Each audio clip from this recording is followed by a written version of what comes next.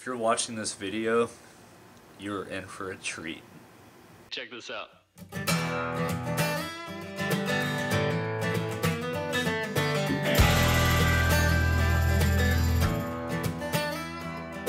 So I didn't have any idea about the music business. Didn't have any idea about putting together a band.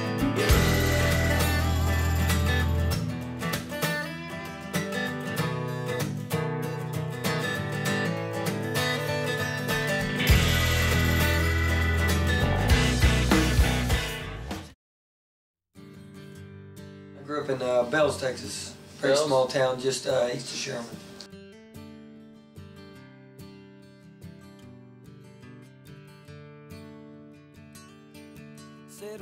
Uh, my grandpa and my mom have always played music throughout my whole life. Uh, mom sang and played guitar as long as you know I can remember, and then uh, my grandpa and his whole side of the family were really music talented. Grew up in Windom, Texas. Went to school at Honey Grove. I see my reflection in your sunglasses.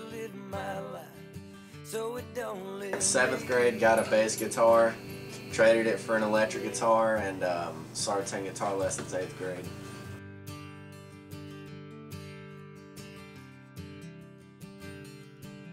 I, uh, I started playing drums when I was really little because my mom plays drums.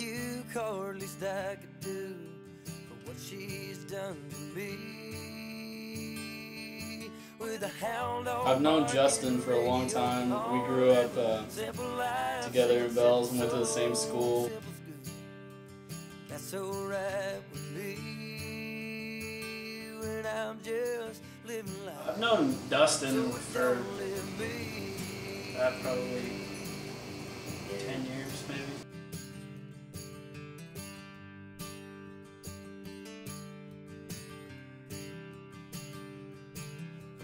Started playing guitar when I was 13, played uh, saxophone, played drums, played bass, obviously.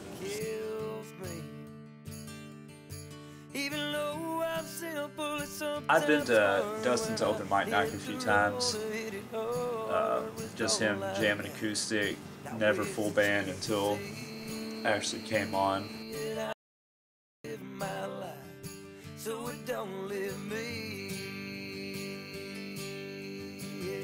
After their first song, they they're immediately up at the merch table and trying to buy CDs, T-shirts. Said I woke up this morning, my boots still on faded pair of jeans and my old long. My dad got me a guitar when I was 12, or yeah, for my 12th I'm birthday. And after that, my hobby was, was music. I didn't really do much other than that. So it don't live me, and I'm just living my life. Even though I When I started, I, they asked me to come on as a tour manager, uh, or like a road manager, sound guy. So it don't leave me. Yeah.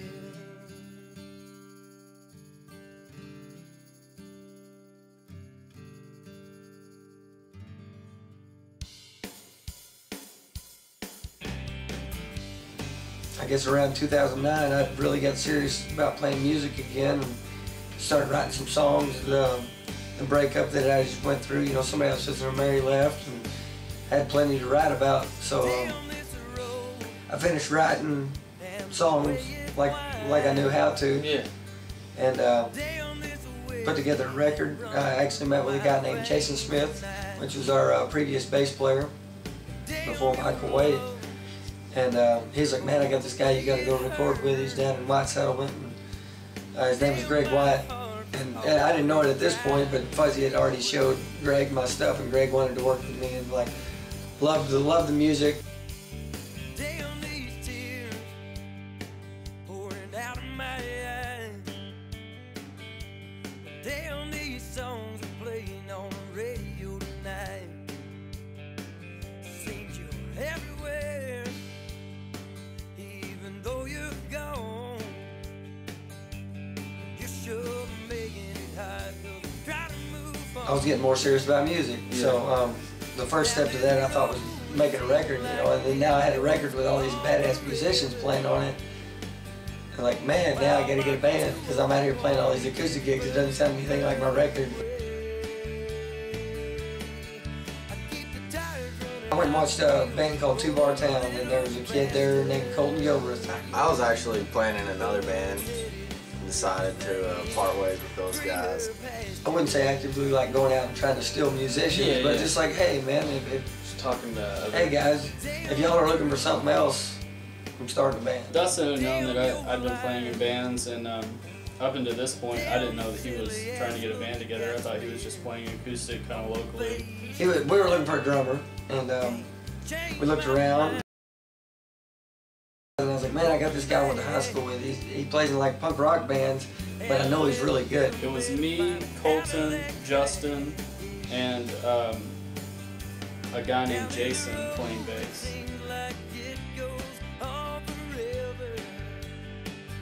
Realistically, without Fuzzy, um, I don't know what I would have done. You know, I, I probably would have been down a completely different road. I would imagine. So, you know, he, he was a, he was a big step and a big uh, contribution to, to building this basis where it came from. So.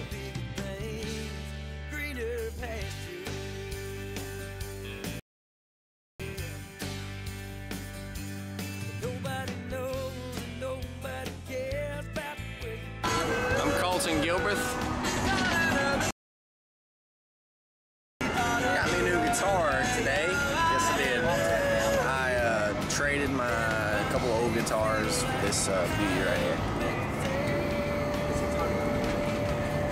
I'm talking.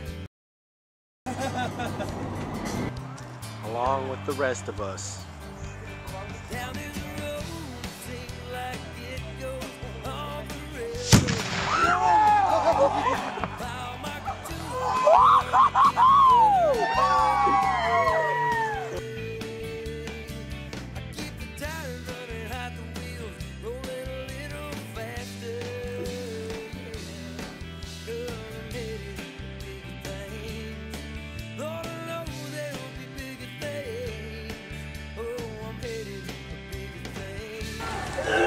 Smell it?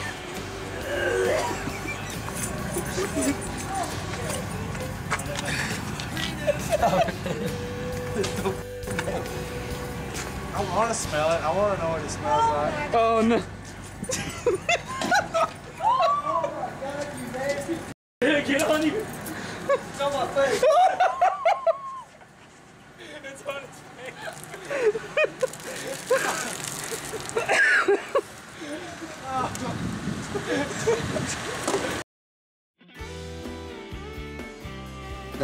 Months, not only we played a couple shows, we played a lot of shows. The entire experience in the Dustin Perkins band is we've we just took it, you know, month by month, and uh, it's, it's gotten better and better. You know, we're just trying to build our brand basically, as, as any band kind of tries to do. You know, build our shows up, keep playing shows, uh, stay relevant and consistent. It just improved more and more every day, every show, every. I mean, even just hanging out with the people like that were in the band at the time, and even the people that are in the band now. Like every day, it just gets better and better. Dustin Perkins. These guys are badass, No, man. Go no, buy the record no, right now. no, you go ain't- buy the record you ain't got a clue. now. Don't listen to him. Go buy the record. Dustin Perkins Video Diarrhea 2001. Here we are.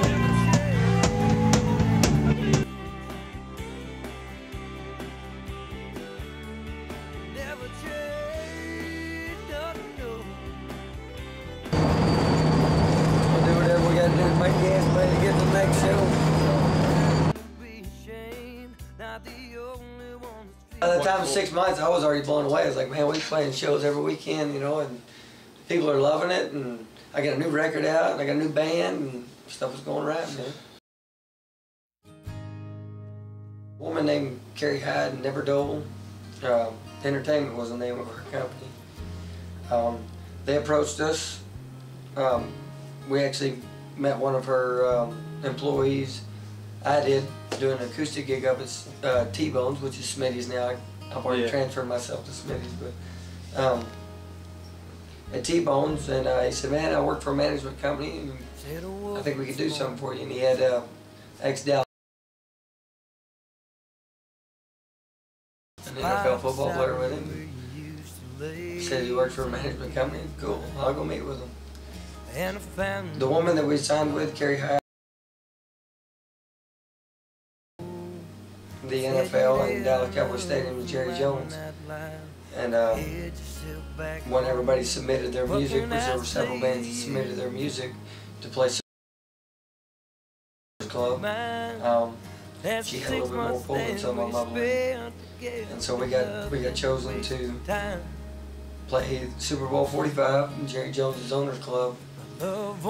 And it was, you asked about the experience, it was, it was a chance of a lifetime. It's something we'll never replace. It's something that we thank Carrie for. Or, I mean, uh, it obviously wouldn't, wouldn't have been possible without her. what she means to me. But if I could have back, then I'd give anything.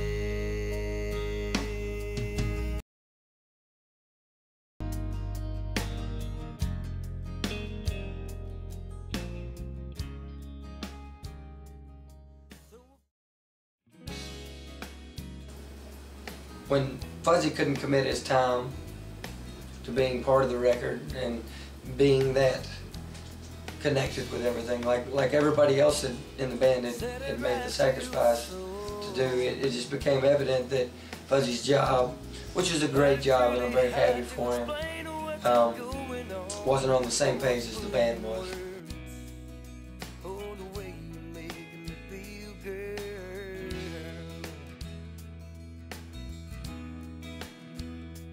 What happened? We, we made a decision to fire Fuzzy because of um, nothing more. It wasn't anything personal. It wasn't anything lack of what he was doing. He was helping the band so much, but it just literally the band had outgrown what he was able to go with us and do.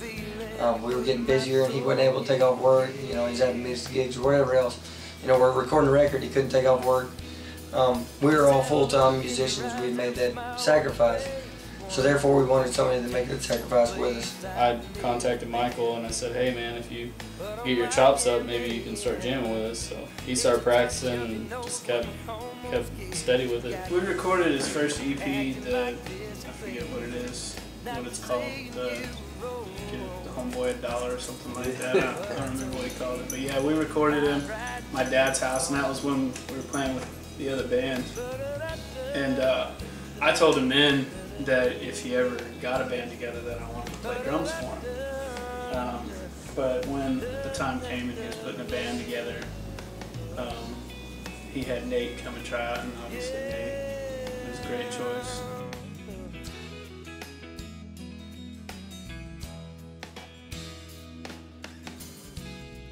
I could write about the first time. Nate called me and he's like, we might have a spot for you. Like, I know you play guitar. How do you feel about playing bass? And I was like, man, that'd be awesome. You know, obviously I want to play with Dustin. And uh, he's like, well, start learning the tracks, and if if it comes up, you know, we'll we're gonna give you a tryout. Michael happened to be the first one we tried out. I saw how much he cared about the project. Um, he had obviously been practicing our stuff. Obviously been practicing the bass, which he didn't even play bass. He didn't own. He, He didn't own a bass at the time. yeah. He went and bought a bass rig to practice and try out for us.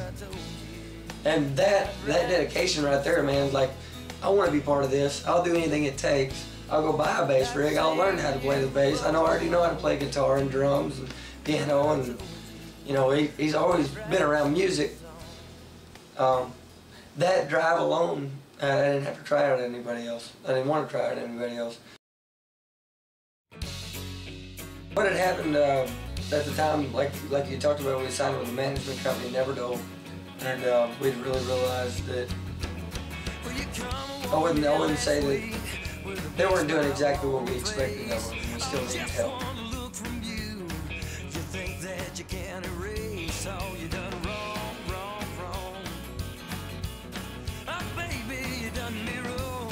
When I met with Chris, um, in which I knew that he was just as passionate about music, whether he was passionate about our project or not. So we decided to hire, hire him on as a uh, road manager and front house. They asked me to come on as a tour manager, uh, or like a road manager, sound guy. And uh, just to kind of take some load off. act like nothing happened, then I would be okay. But you've wrecked more of my world than you ever can replace. Done me wrong, wrong, wrong. Oh, baby. Come on the road with us, Dustin Perkins Band Video Diarrhea 2012.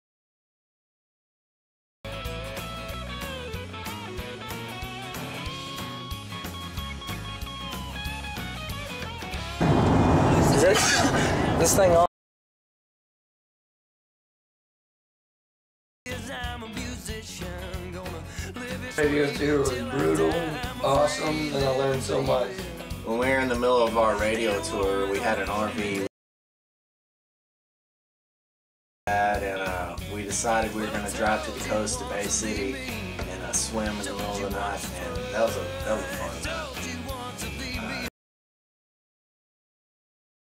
An RV, ha- having enough money to you know, do something cool like that, even if it made us go broke after a couple months. We got on this cove and we thought it was going to be more of like a resort area. It was like 3 o'clock finally got it back on, and we were like, we're on radio tour, let's go swim. Jumped in the ocean.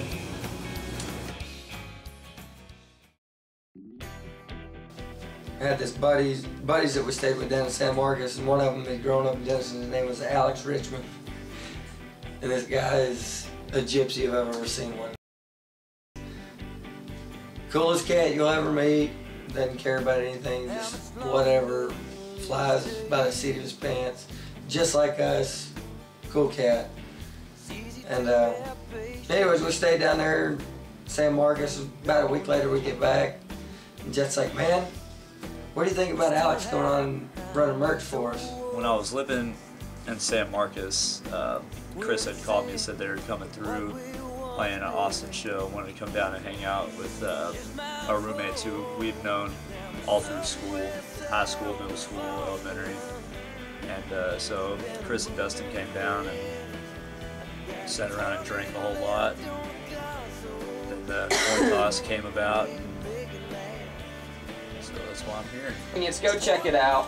Uh, now, next up, want to get in the head of Dustin Perkins. I want to want to hear a little bit about you.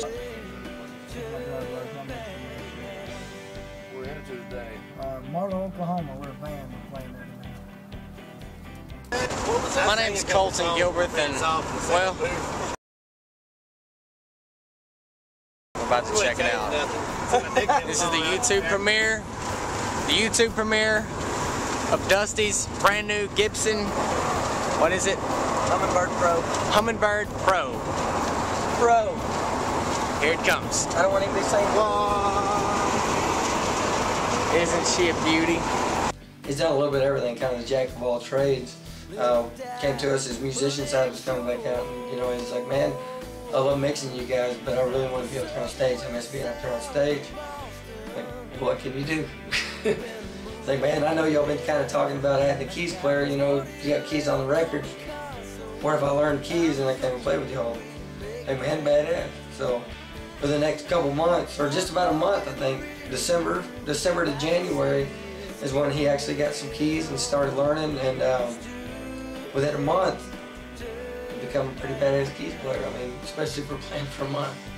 So um, January the first, we released our new record and debuted our new keyboard player slash ex road manager sound guy, which still Slash is a sound guy. The biggest thing for us in playing Shadow Rising Star is that we wanted to play TMR and to place third and then get to play TMR anyways, play the main stage, open the day on the main stage, um, play for thousands of people. Um, that was our biggest goal when playing Shadow Rising Star. Honey, it's too late to turn back now.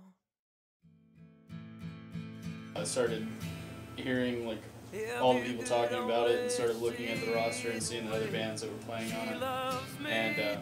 And then it kind of all settled in when, when we got on stage and it was a really big stage, really nice, and you know there was a big crowd and we got to meet some of the other bands there and they were all really nice and really cool. Going to Texas Music Revolution. If you can speak up in the microphone, it's a little loud in here. Texas Music Revolution.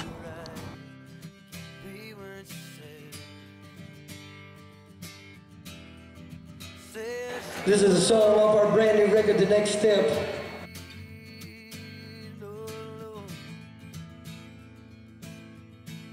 Got the ladies back here. Wow. Ooh, he's talking about girls.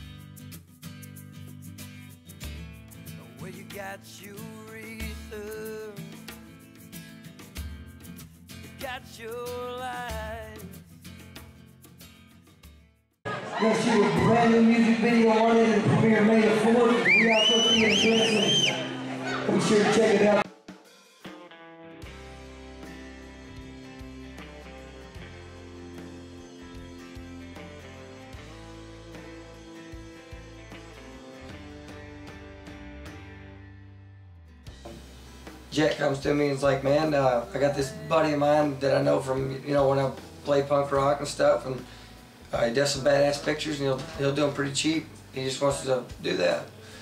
So we get a photo shoot set up, and we're headed down to do the photo shoot, and, and Jet tells me, he's like, hey man, these guys shoot video too, and they're like, badass, man, you need to check it out, or whatever. Like, man, it'd be really cool to have a video too, so after seeing the work that they did on the pictures and stuff, like, I think I don't think there was any doubt in any of our minds that we were going to shoot a music video.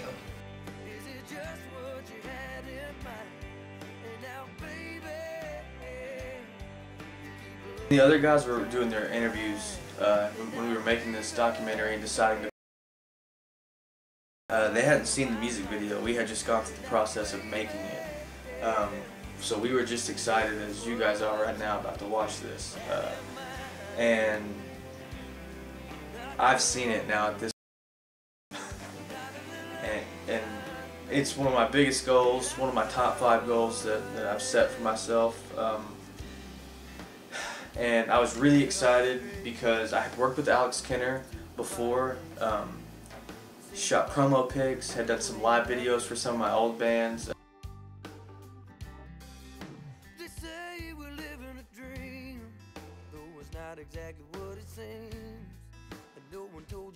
Um, it was long, it was tiring.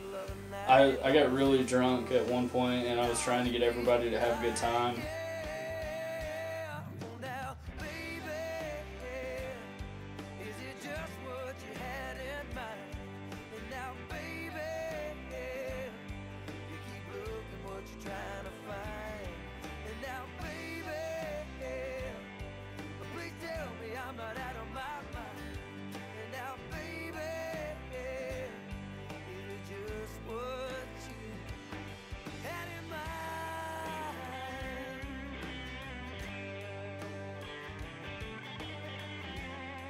It was fresh to see like these guys, the guys that we shot with, Alex and Steven, like they came correct. You know, um, they brought an entire crew. Like you could still tell, like you know, it's not that they're new at it, um, but they're still like working out what works for them.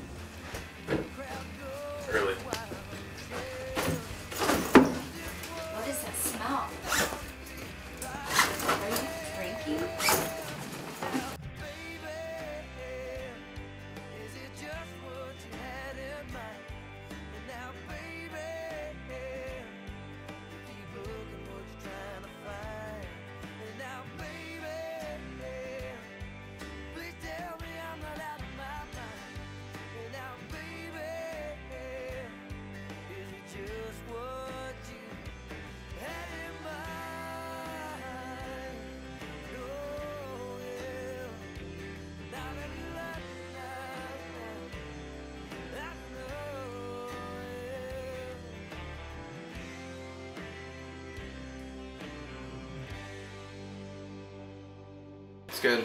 It's good. Let's go. Time to roll. We pushing this Uh, one? you want me to go get her? Hmm? Are you pushing on this one? Yeah. This is the opening shot.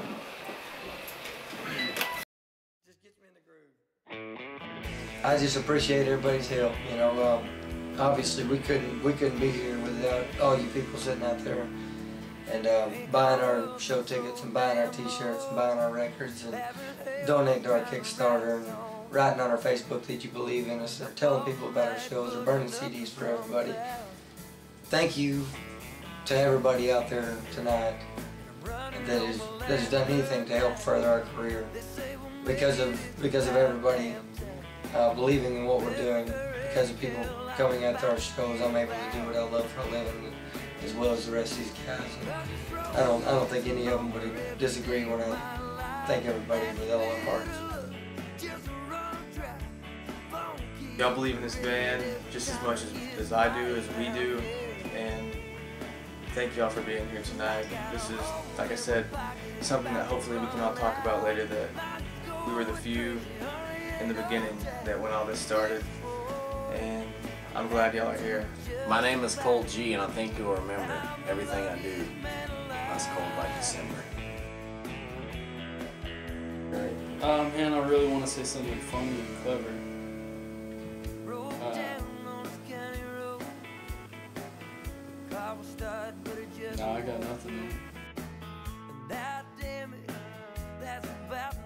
Really appreciate everything that you do for us.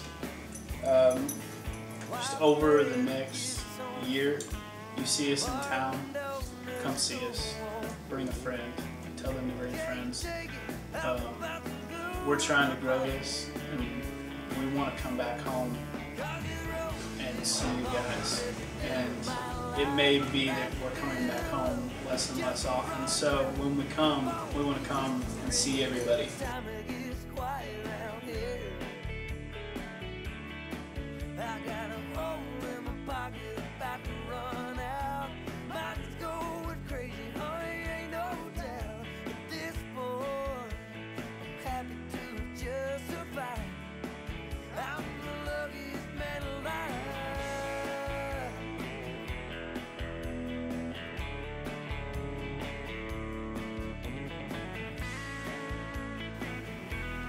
4th, Rialto. Be there.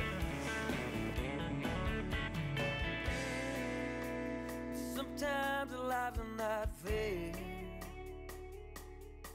But be careful, one day